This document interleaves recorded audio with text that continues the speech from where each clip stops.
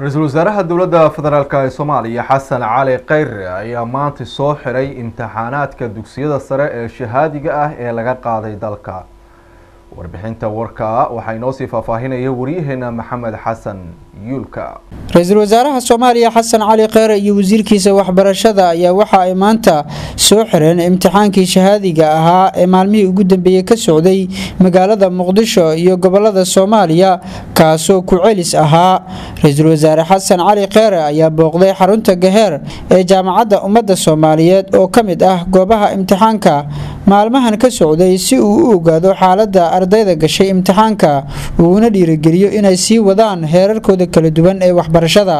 Ra'iisul wasaare xasan cali kheyre ayaa ardayda soomaaliyeed ee u soo dhabar adeegay waxbarashada u rajeeyey guul waxa uuna ku booriyey inay dadaalka iyo dulqaadka ay sii wadaan si hogaamiyaasha soo socda ay u noqdaan.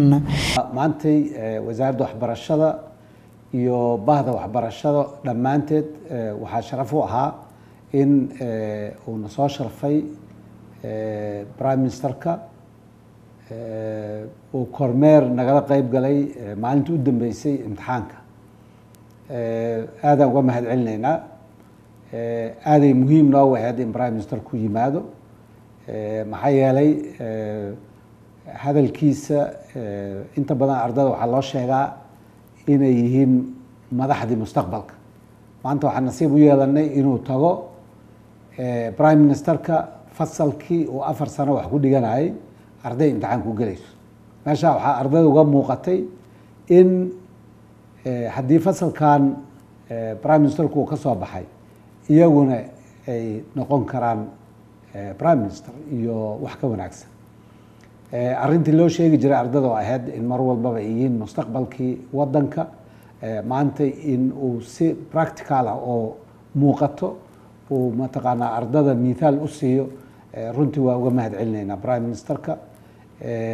Oo runtii mar horene nagu taageeray naguna mataqaanaa korjeegteeyey imtixaanka ku celintiisii iyo qaadidsiisii iyo diyaargarowgiisii iyo howlaha faraha badan oo la qabtay oo mar walba la socdayna waa uga mahad celinaynaa waxaan uga mahad celinaynaa inuu maantay muxuu ahaa uu suuro geliyey in uu muxuu ahaa ardadii imtixaanka gelaysay oo hor istaago la qeybsado waxa ay dareemayaan.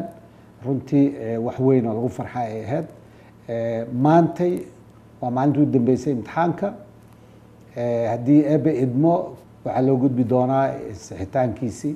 Waxaan u rajeynayaa ardada soomaaliyeed meel kastay joogaan iyo waalidiintaba guul ayaan u rajeynayaa imtixaanka shahaadiga ah ee sanadkan ay ka qayb galeen soddon iyo kow kun iyo laba boqol konton iyo sideed arday ayaa waxa uu si isku mid ah uga socday magaalooyinka muqdisho iyo gobollada qaar ee dalka soomaaliya.